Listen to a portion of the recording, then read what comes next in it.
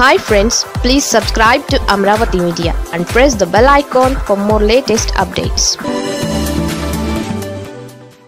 TTD కొత్త chairman ఆయనే విజయసాయిరెడ్డికి కీలక బాధ్యతలు. ఎన్నికల వేళ సీఎం జగన్ కీలక నిర్ణయాలు తీసుకుంటున్నారు. ప్రఖ్యాత తిరుమల తిరుపతి దేవస్థానం బోర్డు చైర్మన్గా ఎమ్మెల్సీ జంగా కృష్ణమూర్తి పేరు ఖరారైంది. ఈ మేరకు సీఎం జగన్ నిర్ణయించినట్లు సమాచారం. పార్టీ పదవుల్లోనూ మార్పులపైన కసరత్తు జరుగుతోంది.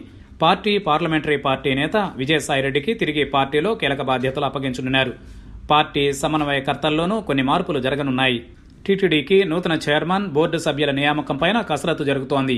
ప్రస్తుత పాలకవర్గం గడువు ఆగస్టు ఏడవ తేదీతో ముగియనుంది. వైసీపీ అధికారంలోకి వచ్చిన తరువాత వైవి సుబ్బారెడ్డిని టీటీడీ చైర్మన్గా నియమించారు. తొలి టర్మ్ పూర్తయిన తరువాత రెండవసారి సుబ్బారెడ్డినే కొనసాగించాలని సీఎం నిర్ణయించారు. ఈసారి సుబ్బారెడ్డి స్థానంలో బీసీ నేత జంగా కృష్ణమూర్తికి ఈ పదవి దక్కనుంది. బోర్డు సభ్యులపైన నిర్ణయం తీసుకుని ఉన్నారు. జంగా కృష్ణమూర్తి ఎమ్మెల్సీగా వైసీపీ విప్గా వ్యవహరిస్తున్నారు.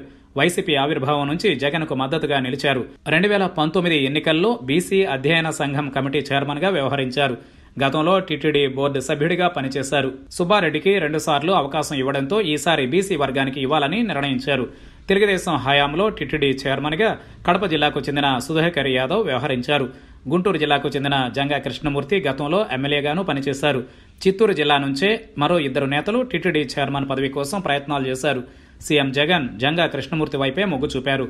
ఇక పార్టీలోనూ కీలక పదవుల్లో మార్పుల దిశగా కసరత్తు జరుగుతోంది. వైవి సుబ్బారెడ్డి ఇక పూర్తిగా పార్టీ బాధ్యతలు పర్యవేక్షించనున్నారు.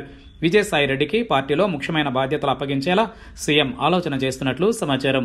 ఈ నెలాఖరులోగా పార్టీలో మార్పులపైన నిర్ణయం వెలువడే అవకాశం ఉంది. వైసీపీకి నెల్లూరు ప్రకాశం జిల్లాలు ఈసారి కీలకం కానున్నాయి.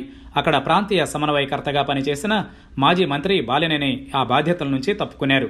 తన నియోజకవర్గానికే పరిమితమయ్యారు. దీంతో నెల్లూరు జిల్లా బాధ్యతలు విజయసాయిరెడ్డికి అధికారికంగా అప్పగించే అవకాశం ఉంది. గోదావరి జిల్లాల సమన్వయకర్తగా ఎంపీ మిథున్ రెడ్డి వ్యవహరిస్తున్నారు. ఉభయ గోదావరి జిల్లాల్లో సమీకరణాలు మారుతున్న సమయంలో అక్కడ ప్రత్యేకంగా ఫోకస్ చేశారు. కీలక నేతలను అక్కడ మోహరించనున్నట్లు తెలుస్తోంది. నియోజకవర్గాలలో బాధ్యతల కారణంగా పార్టీ పదవుల విషయంలో కొందరు నేతలు భారంగా భావిస్తున్నారు. అక్కడ మార్పులకు రంగం సిద్ధమైంది. కొత్త వారికి బాధ్యతలను అప్పగించనున్నారు.